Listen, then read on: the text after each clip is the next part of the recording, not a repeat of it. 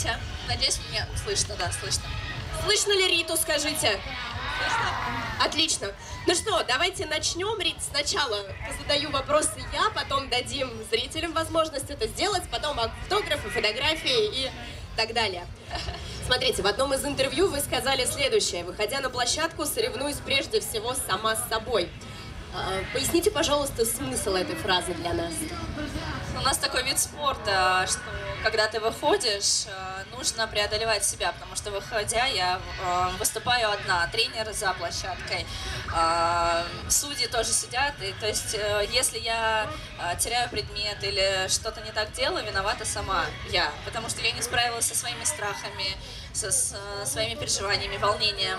Вот у нас такой вид спорта, то есть у нас не бег, не плавание, не командный футбол, то есть нет такого, что какое-то соперничество именно с конкурентными гимнастками из других стран, из нашей сборной, всегда борешься сама с собой.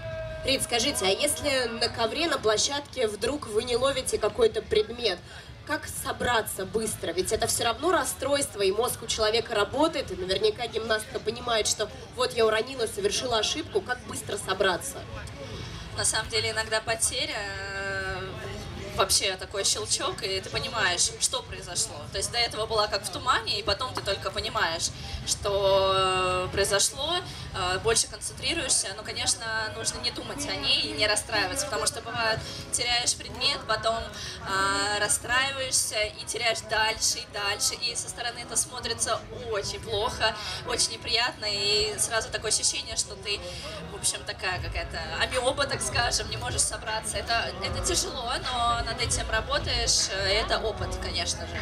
Но, может быть, есть у вас какой-то свой личный персональный рецепт, как быстро собраться прямо во время выступления? Нужно сразу собираться до выступления, чтобы не было никаких потерь. Это нужно выходить сразу на площадку, быть собранным и то есть не переводить, ну, для меня это было очень важно, мне переходить на автомат, потому что у нас такой вид спорта, что может предмет полететь куда-то не туда, и нужно принимать ежесекундное решение, а, и поэтому, если я кину куда-то в другую сторону, а пойду на автомате, как я делала всегда, то ничего не выйдет, то есть э, а, трезвое состояние ежесекундно, то есть контролировать ситуацию нужно постоянно.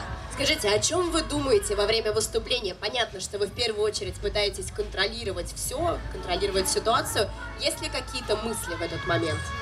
А, до Олимпиады я, конечно, пыталась справиться со своими эмоциями и со своей нестабильностью. И когда я выступала, поначалу я просто как какое-то мгновение, как сон. Я не помнила вообще, что я делала, потому что полторы минуты выходишь на адреналине, это как прокатиться по американской горке. То есть вроде бы как бы и прошло, но как бы каждую деталь ты не помнишь. И э, поэтому нужно контролировать вот ежесекундно и думать о том, что я и предмет, я и предмет, там, э, в общем, проговаривать каждое замечание, каждое вообще, э, все, что я делаю. То есть тут стопа, тут рука, тут четко, тут вот я поймала его, передала, пока я не взяла его, я не отпускаю его. Вот это, это очень тяжело, конечно, собраться и вот именно в такой короткий период э, проанализировать, еще улыбнуться, физически работать, это, конечно, очень сложно. Мне кажется, у вас в голове компьютер, раз вы успеваете контролировать такое количество это, вещей одновременно. Это да. Давайте поговорим теперь уже об Олимпийских играх, которые состоялись в 2016 году. Скажите, ваше золото было для вас ожидаемым? Конечно же, я мечтала об этом. Конечно же, в 2016 году у нас проходило много этапов Кубка мира и Гран-при, и когда я стояла на пьедестале на первом месте, а, я представляла, что на, в Бразилии я также буду стоять, также петь гимн. На тот момент у меня сразу мурашки, и я мечтала об этом, конечно, но когда выступала, я не думала о том, что выиграю, не выиграю. Для меня был огромный страх это подвести себя, тренера и вообще всю страну и выступить плохо. Это был единственный мой страх. Не то, что проиграть и что-то еще сделать. Моя задача была просто хорошо выступить, ничего не потерять, все сделать идеально и то, над чем я работала. Поэтому, конечно, от меня больше ждали второго места, потому что больше делали ставки на Яну Кудрявцева, но это спорт и Олимпийские игры – это абсолютно другие соревнования. Вот просто.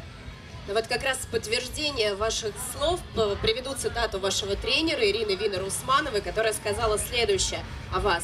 Вы четыре года были на вторых позициях, уступая первое место как раз э, гимнастке вашей подруги Яне Кудрявцевой. Ну и вот, Олимпиада в Рио, золото ваше. Вы являясь подругой Яны, были, было ли вам обидно за нее? Все-таки золото ушло не ей, а вам.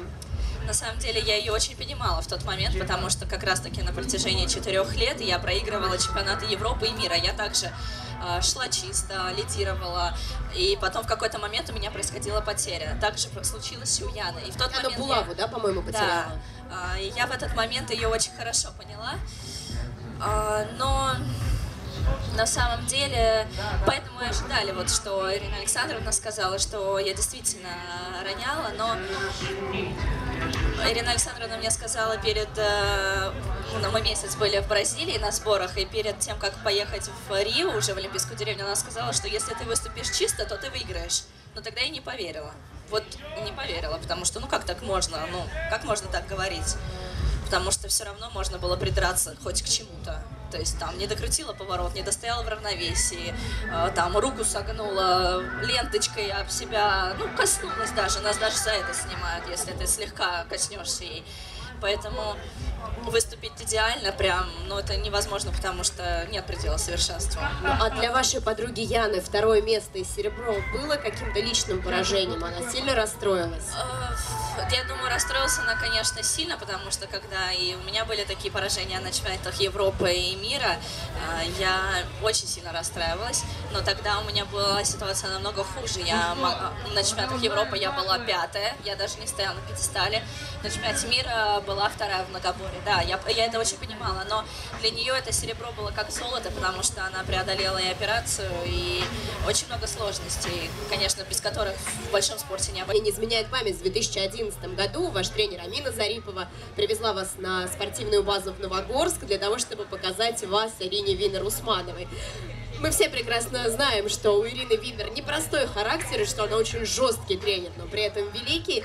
Когда был просмотр, у вас был страх не понравиться ей? Боялись ли? Конечно, я боялась, потому что у меня всегда был образ э, Ирины Александровны такой очень строгой, такой прям непоколебимой женщины. Но когда я пришла, она, она человек настроения, поэтому я пришла, и она начала э, там спрашивать, кто у меня папа, почему я такая смуглая, там это, начала рассказывать какие-то истории, там, э, вот, ну вот было все очень спокойно и очень здорово, тем более она там сказала, прыгни прыжок, а прыжки это вот моя коронная вещь, значит, я как прыгну, она там типа, здорово, и все, и у меня как напряжение сняло, но тогда были сборы, и шла подготовка к первым юношеским Олимпийским играм, и сказали, что 95-го года у нее завались девочек, зачем она мне нужна. И меня хотели отправить выступать на первые юношеские Олимпийские игры за Бангладеш, чтобы я добралась и выступала, ну, вроде бы это как бы очень престижно, первые Олимпийские юношеские игры, но если бы тогда я согласилась выступать за Бангладеш, я думаю, я бы не стала бы олимпийской чемпионкой, потому что Бангладеш нет никакой финансовой, ни никакой поддержки, потому что даже этого вида спорта нет, они его не признают, поэтому вот так вот. Это было роковое решение, мне кажется. Ну, мне кажется, да, это сыграло вам на руку, и, в общем, это было очень важное решение для вашей будущей карьеры. Скажите, из четырех... Я, да? На самом деле это такой тяжелый и адский труд, что а, людям, которые это не прошли, очень легко сказать. Я выступила в Бразилии, приехала а, после сдачи э, допинг-тестов, я приехала в русский дом, и мне там уже сразу спрашивают, ну что, в Токио? Я такая говорю, ну я только сегодня выступила, как? Я еще не поняла, что здесь произошло, вы мне уже про Токио. Конечно, это легко сказать, но Олимпиада очень сложное соревнование, и а, если я ехала в Бразилию, не зная, чего меня ждет, то в Токио я уже буду знать, чего ожидать, а может быть хуже, а может быть легче, но легче точно не будет, это правда. Но, конечно, мечта, конечно, это особенное соревнование. А, Пик э, вообще самый топ для каждого вида спорта, для каждого спортсмена. Но вы говорите все-таки так, как будто вы собираетесь ехать в 2020 году в Токио, да? Но да, да? посмотрим, может быть, посмотрим. Я думаю, что мы тут здесь все ждем, что это произойдет. Да, да, да. Первый желающий появился. Здравствуйте, Маргарита. Меня такая, наверное, больше сказать, корыстная цель.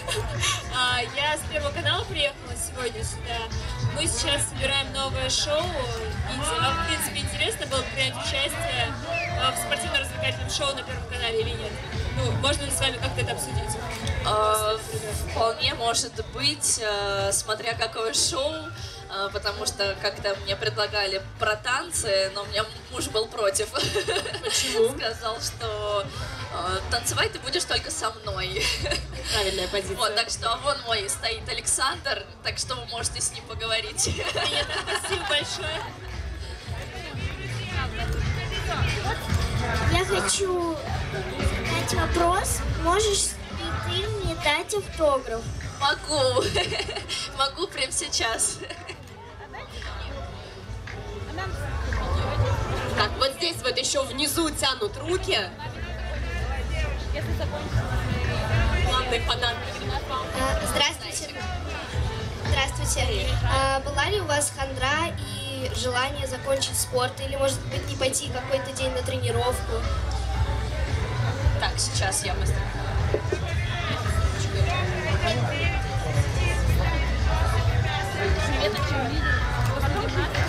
Раз,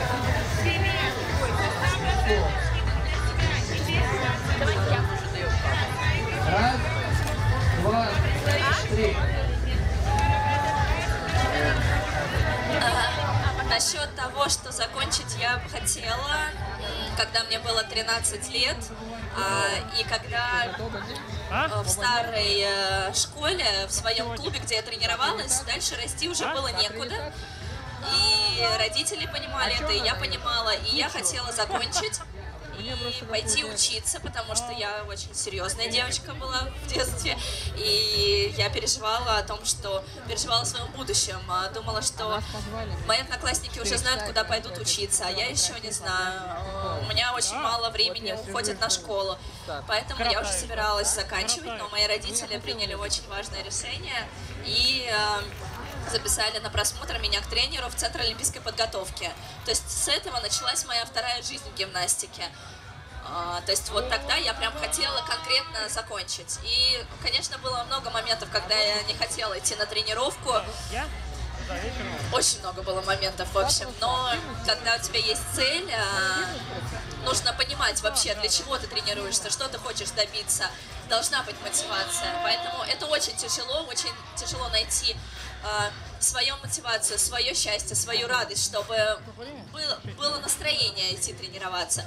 Но если просто тебе легко на своем пути, значит этот путь не, сов- не совсем правильный, потому что на правильном пути к э, высоким целям всегда этот путь очень тяжел, тернист, и приходится преодолевать себя и от чего-то отказываться. Спасибо. Здравствуйте. Скажите, пожалуйста, а после Олимпийских игр а, вы тренировались ну, так же, как до Олимпийских игр? Или легче, или не тренировались вообще? И к Олимпийским играм я тренировалась очень много, очень-очень много. Особенно целый месяц, когда мы были на сборах в Бразилии. А, Мы тренировались с 7 утра а, до 6 вечера, до 7, до 8 бывало. А, Но после Олимпиады уже было такое, ну, такой спад, такое счастье, такое расслабление, что я после Олимпиады отдыхала 10 дней. И потом сразу же после отдыха поехала на клубный чемпионат мира выступать. Без тренировок, без всего. И вышла выступить э, прям сразу, потому что мы настолько много тренировались, что моей физической подготовки хватило бы еще на месяц вперед. Здравствуйте, Маргарита. Очень-очень приятно вас на фестивале увидеть неожиданно. А, такой вот вопрос. А, кем вы себя представляете в 30 лет? Чем хотели бы заниматься, чем мечтали бы, когда, ну, именно спортивная карьера выступлений закончится? На самом деле очень, очень тяжело профессиональному спортсмену решить, что ему делать после э, завершения карьеры. Но к 30 годам я уже надеюсь, у меня будут дети, и я буду э, мамой, потому что я воспитана в такой семье, что э, для меня очень важны семейные ценности, и я мечтаю всегда о большой семье. Поэтому я надеюсь, что я буду мамой, у меня будут дети. Но, конечно, я бы хотела после спорта остаться вот в самом спорте. Может быть, не тренером, может быть, э, помогать с какой-то другой стороны, развивать спорт в регионах, возможно, в Олимпийском коми- комитете работать. Не знаю, но просто хотелось бы остаться в спорте, потому что я не, никто как э, кто-то другой, зная его изнутри, все детали. И вообще, я прошла сама весь этот путь и думаю, что я могу чем-то быть полезной. Свою школу в Бангладеше не хотели бы открыть в будущем? Нет, у меня спрашивали про мою школу в Москве, но я бы хотела. Но немножечко попозже. Позже.